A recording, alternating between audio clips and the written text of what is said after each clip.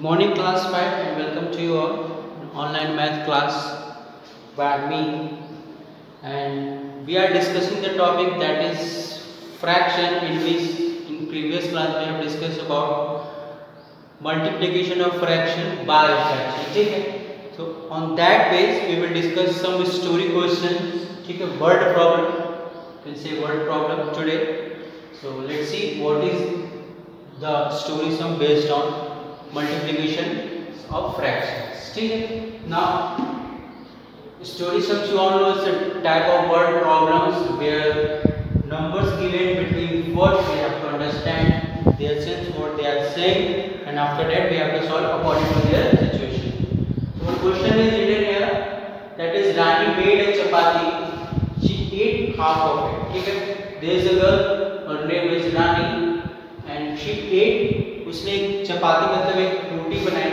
chapati and she ate half of it देखिए यहाँ पे ध्यान। उसने एक चपाती बनाई, ठीक है? जिसमें से हाफ़ ऑफ़ उसने क्या किया? खुद खा लिया, ठीक है? हाफ़ ऑफ़ खुद खा लिया ये वन ये टू टोटल कितने पार्ट हो गए चपाती के टू जिसमें से एक उसने क्या खा लिया? वन उसने खा लिया, ठीक है?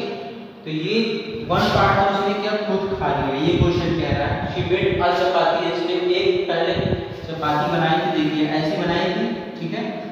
जिसमें से आधी, ऐसे इसको समझिए आधा क्या है, उसने खा लिया, यानी वन बाई टू उसने क्या कर दिया, खुद खा लिया। अच्छा देखिए, जब इसमें से आधा खत्म हो गया तो आ बचेगा कितना आपका?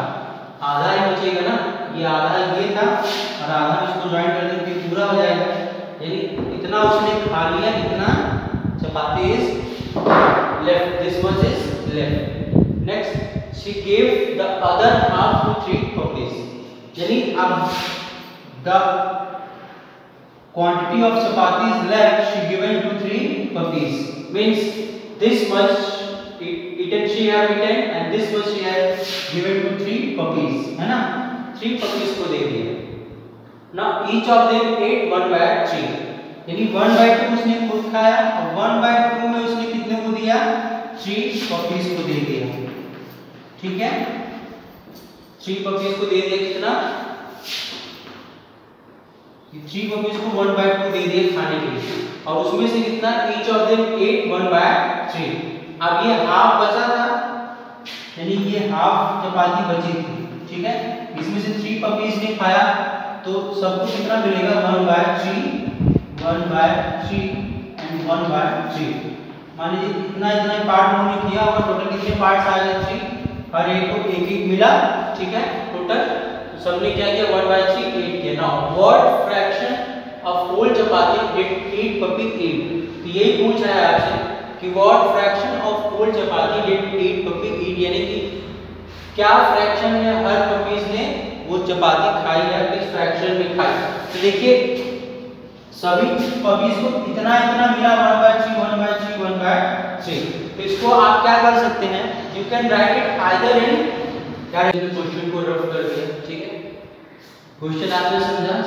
सिंगल ब्रेड थी जिसने बनाया था उसने आधा खुद खा लिया यानी कितना बचा?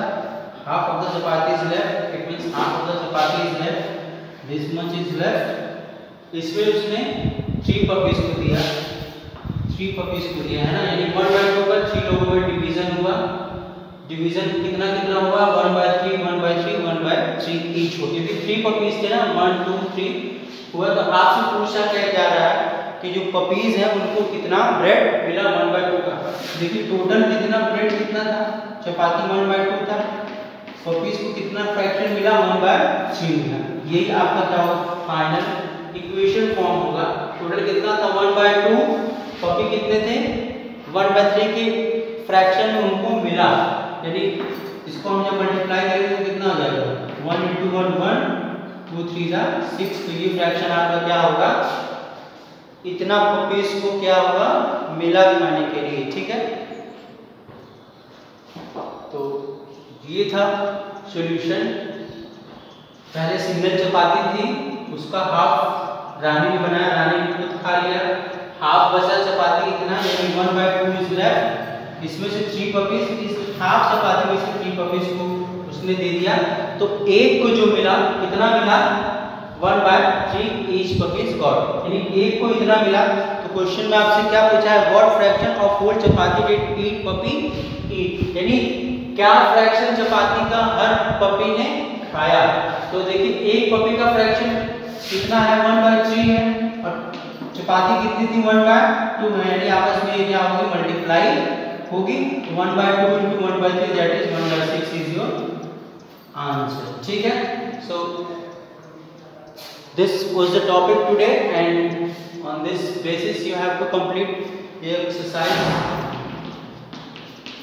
4.10 ठीक है complete your homework and tomorrow we will discuss divisions of fraction ठीक है only three question are there so i hope you will complete it today only ठीक है thank you